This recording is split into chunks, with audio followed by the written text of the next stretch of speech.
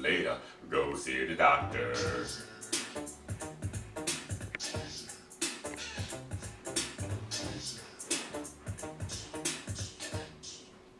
I was walking down the street, rocking my feet, clapping my hands and stomping my feet. I saw a little lady so neat and petite. She was so sweet, yes, I wanted to meet her. So I asked this lady, could I take her out and we could wine and dine and talk about the birds and the bees in my water bed. And she could treat me like a Buddha and bow her head. We continued to talk, again. before you knew it, we were at my house and it was time to do it. As soon as I finished, I lost my poise, ran outside and told all my boys. I said, listen up, fellas, come over here, bust it. They said, get it? I said, they said, how was it? The boom thing was dope, and you know that I rocked her. But three days later, go see the doctor.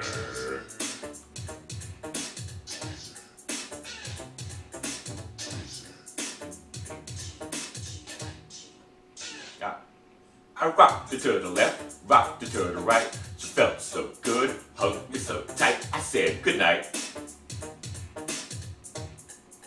Three days later, woke up fussing, yelling and cussing, drip, drip, dripping and puss, puss, pussing. I went into the bathroom and said, Mama mia, I'ma kill that girl next time I see her. The madder I got, the more I reminisce. Why is my thing thing burning like this? But I remember the first day I saw that girl.